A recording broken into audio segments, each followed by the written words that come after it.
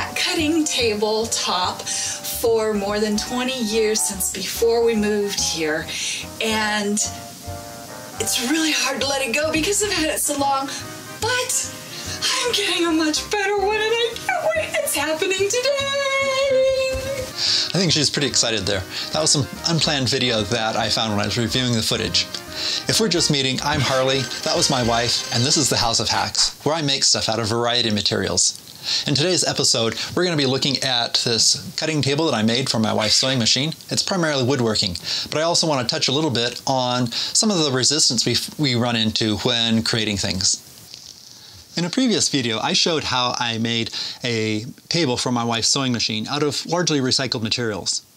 In this video, we're going to be doing the same for her cutting table. The ends are filing cabinets that a previous employer was throwing away. And they're attached to a base that's primarily 2x4s and some plywood. This serves both to hold the cabinets together so they don't move around and also to provide a little bit of a toe kick. The cabinets were designed to go underneath desks in cubicles. And so they're designed to have things attached to the top, which works perfectly for this application with the tabletop. Back here in the middle, my wife wanted to use these cabinets that were designed for maps and blueprints. And we can see they're stacked together. They're a couple inches taller than the filing cabinets on the end. So the design will have to account for that. Since this table is right behind her sewing machine work area, she wanted this one corner to have a cutout in it to accommodate her serger.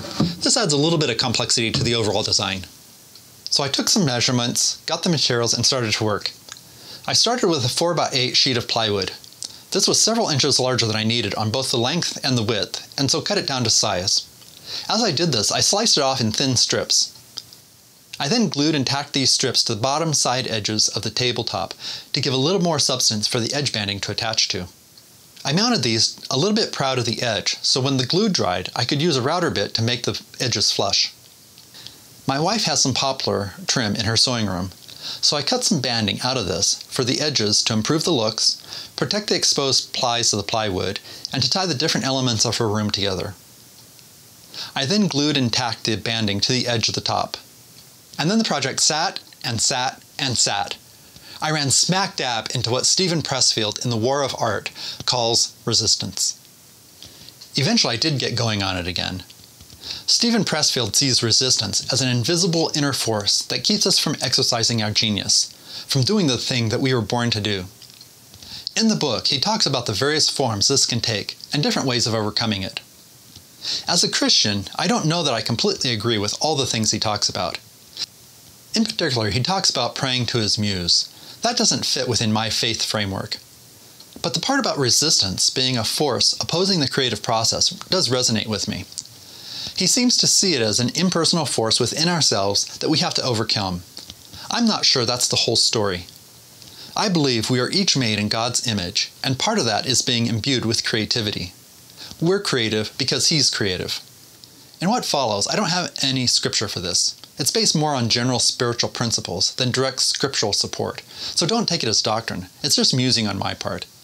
I think Steven is right in that there may be psychological internal reasons we face resistance when creating things.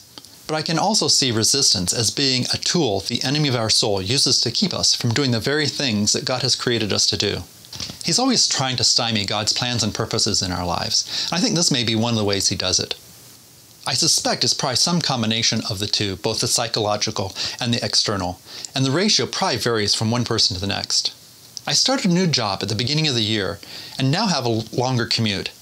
To make use of that time, I subscribed to Audible and have listened to a number of books that have been on my reading list for quite a while, The War of Art being one of them. Another one I listened to is Atomic Habits by James Clear.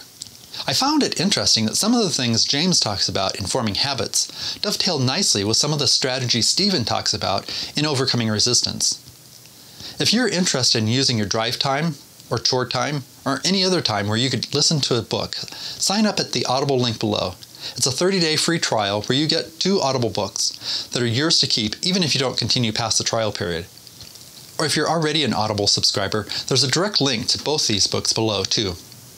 Getting back to the project, Under the plywood, the tabletop has a skirt that is boxed in on each end. The boxes serve multiple purposes. They add rigidity to the whole top, they provide a mounting spot to attach the cabinets to, and they fill the space difference between the two types of cabinets. The bottom of the boxes are made with a thinner plywood and have T-nuts in them to attach to the filing cabinets. The thinner plywood also acts as a top in the serger cutout. After it was all assembled, I painted the main field and then put a polyurethane top coat over the paint, the edge banding, and the skirt. With a little help, putting it in place was simply a matter of taking out the old top and placing the new one in its place. And a bolt on each corner keeps it from sliding around. Join me in this video where I show how I made the table for my wife's sewing machine. And down here is a playlist of other sewing room related projects. Thanks for joining me on this creative journey, long as it may take sometimes. Now go make something. Perfection isn't required, fun is.